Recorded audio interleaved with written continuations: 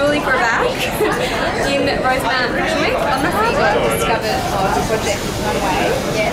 And what was it like before then? Tell us, backtrack. Um, Project Runway, how was I guess fashion's been something that I've wanted to do for years. So ever since the age of eight, I've been sewing, and um, that was pretty much when I knew what I wanted to do. So after school, I tried to get into Mount TAFE, which is um, a big fashion school in Brisbane, and they said no, and I was absolutely devastated. You didn't get in? No, so I was like, what am I going to do? So then I tried to get into Gateway TAFE, which is just a certificate, not a diploma, and I got into Gateway TAFE. So then the next year I applied to get into Gravatt again, and they said no, it just wasn't the right thing.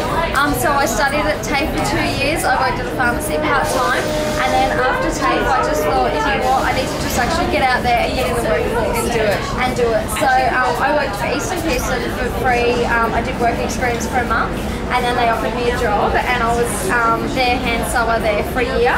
And then I thought I've sort of learned everything I can at this stage. I need to go overseas. I would work um, from 6 a.m. to 10 a.m. in the mail room in Singapore, and from 11 a.m. to 4 p.m. I'd work at Easton Pearson, and then from 5 p.m. to 10 p.m.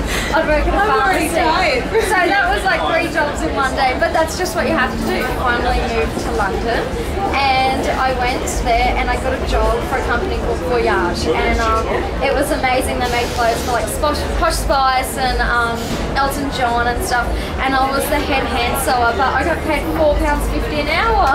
so I, I stuck it out for a year and a half. I, I was earning no money, but I was around the industry, and that's what's so doing what you were doing. important. Yeah, so um, I stayed at that job for a year and a half, and I went, okay, I think I've learned everything I can. So I thought, there's got to be a way that I've got to stick with this, so I can keep on making women feel beautiful. And even if it means working for free or three jobs in the same day, that's okay because one day it'll pay off, and Yeah. women all around the world. And that inspires you to help women feel what- that's- that's, in your dresses. That's what I do it for. I'm not driven by money or whatever. It's I'm driven by a woman putting on a dress and going, oh Juli, I haven't felt like this in years, or I feel so. You know, when Yeah. a girl feels good, and I'm responsible for that. So yes, when you want to do something, package. you have to just keep striving to keep on, to keep with it and keep going. So yeah. So your advice to the girls that cheap designers is to just um, like you get kicked along the way, and it's not a nice thing that happens, or you might not make money doing something, but do it anyway. It's a really hard industry, and you just have to keep believing in yourself. And another really important thing is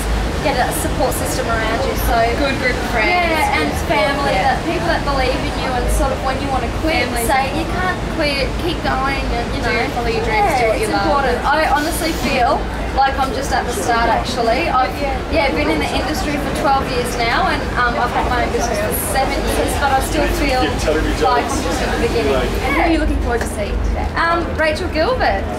cool. All right. Well, thank you. thank you, see you.